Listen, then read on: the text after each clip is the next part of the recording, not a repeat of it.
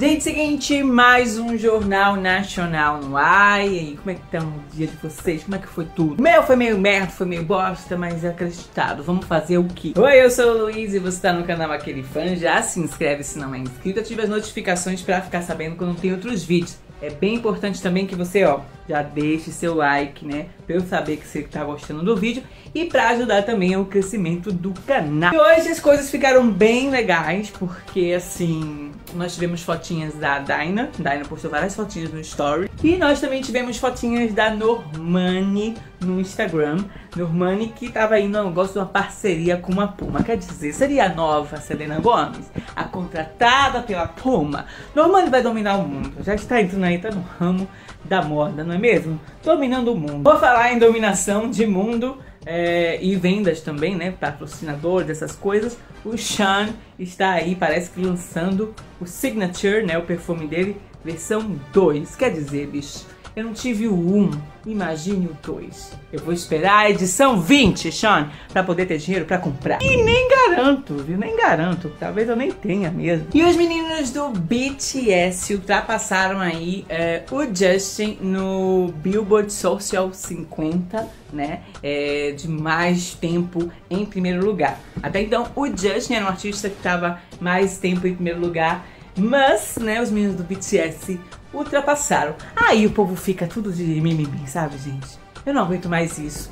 Porque aí o fandom do, do, do, do BTS, alguns, alguns ARMS, porque as ARMS que eu, que eu conheço são sensatas, são maravilhosas, mas tem umas ARMS que, sabe, fica aí expondo, né, ao ridículo, porque não pode ver uma vergonha que quer passar, né? Mas aí, por outro lado, também tem umas believers que ficam, né, fazendo umas intrigas bestas e eu só tô aqui, ó, tomando meu refrigerante, minha pipoca, porque eu não tô nem aí pra isso. Meninos do BTS são talentosíssimos e merecem, tanto quanto o Justin. E outros artistas também merecem. E não é porque tá em primeiro, segundo, terceiro que não mereço, não é mesmo? Ai, eu fico tão chateado com esses negócios, tão triste com isso. Eu fico imaginando, Naju não merece isso. Naju não merece umas armas dessas. E por falar em merecer ou não merecer, na verdade não tem nada a ver com merecer ou não. Uh, ah, gente, eu amei essa foto, né? Primeiro lugar, eu amei essa foto uh, da Taylor, Taylor Rainha aí no show dela. Uh, mas o que eu amei demais foi ela cantando Invincible. Música aí do seu primeiro álbum, né? E tipo, ela falou que ela tá gostando muito dessa tour e tal. E de como é bacana ela conversar com as pessoas no meet and greet. E conhecer um rapaz que disse que, né, depois de ouvir essa música, ele foi e se assumiu. E, tipo, ela contou essa história, o, ra o rapaz ficou super feliz, é óbvio, né? Porque imagine, ela cantou na Reputation Tour uma música que ela fez lá atrás, bem no início da carreira. Ela já tem feito isso também na, na, nos shows da Reputation, mas ainda contou essa história que ela ouviu, né?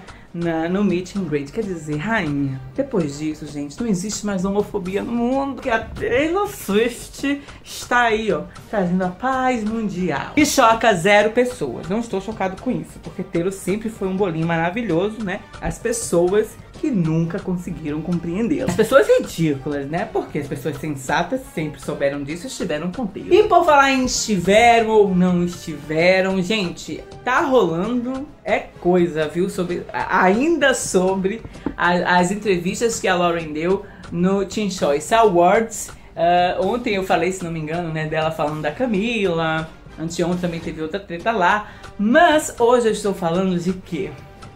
De casamento dela com Ty Bush. Será que vai rolar? Espero que não. Mas eu acho que ela também não quer não, gente. Mas enfim. eu não duvido de nada mais nessa vida. É, na entrevista, né, o rapaz, né, falando com ela lá, ela disse que os fãs estão dando muita liberdade para ela, né, de ela fazer as coisas e pipipipopopó, né, essas conversas de sempre. Mas uh, foi chamou ela de Lauren Dolan. E ela fez, não, não existe isso de Lauren Dolan. Deus é mais. Mentira, que ela não disse Deus é mais.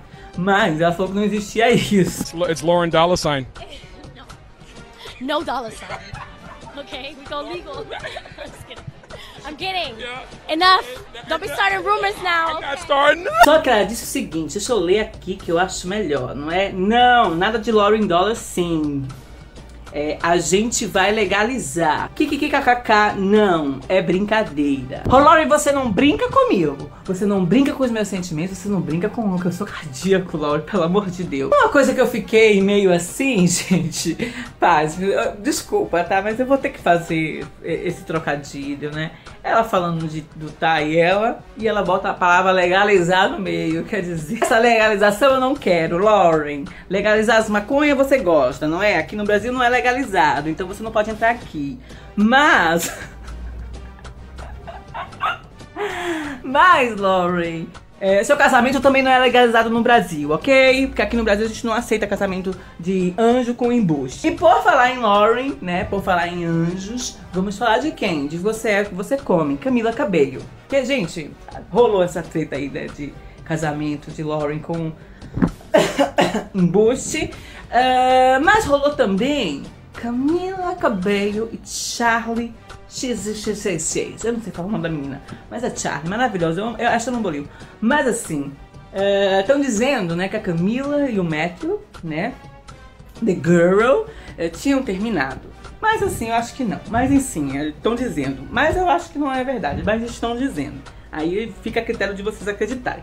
Só que aí é, tem um videozinho rolando da Charlie com a Camila ouvindo Reputation, ouvindo não, ouvindo Delicator, né, na Reputation 2, tirando umas fotinhas. E aí a Camila vai, ó, por trás da menina e dá aquela encoxada.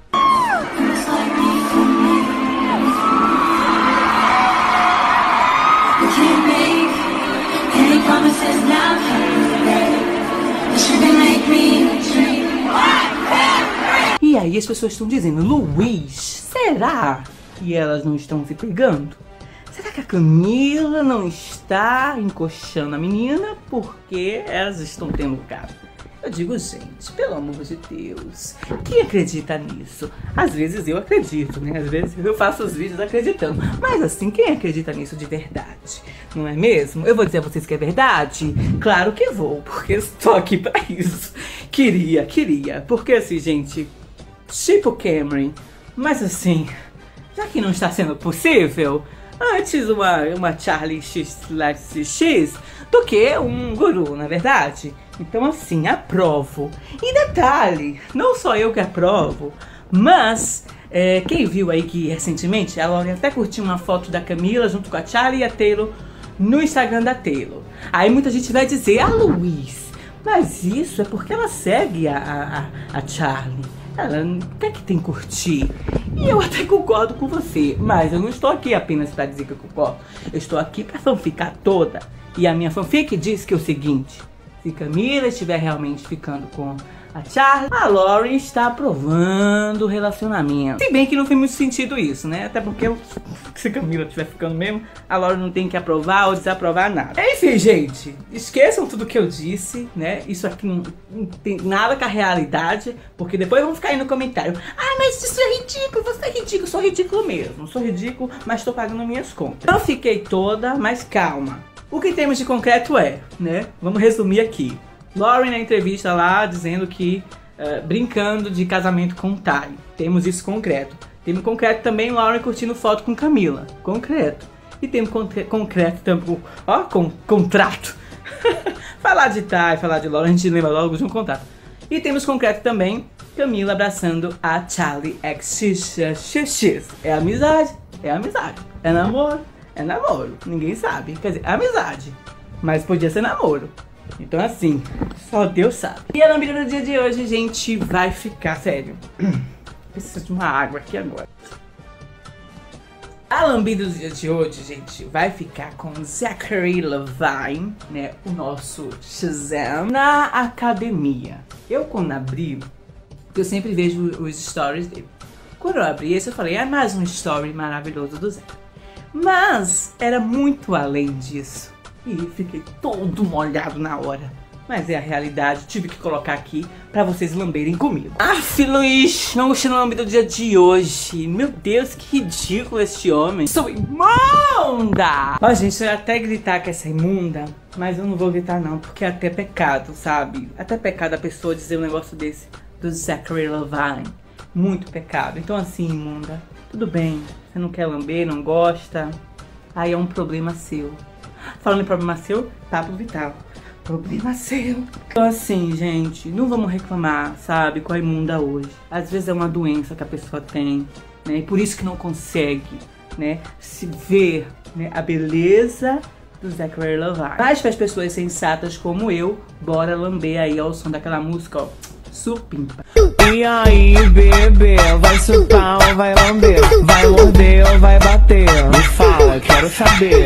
E aí, bebê, vai chupar ou vai lamber? Vai morder ou vai bater? É você quem vai dizer. Mas agora eu quero saber de vocês, gente, o que, é que vocês acham de tudo isso? Comentem embaixo, eu quero ficar sabendo. A gente se vê no próximo vídeo. Então é isso, falou.